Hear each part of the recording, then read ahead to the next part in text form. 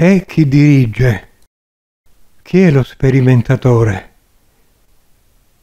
Commento. Lo sperimentatore è chi dirige i fenomeni in parapsicologia. Lo sperimentatore in medianità è chiamato curatore. Si è giunti a ritenere che lo sperimentatore e il curatore, oltre ai partecipanti all'esperienza, influiscono sulla sua qualità, non meno del sensitivo o del medium.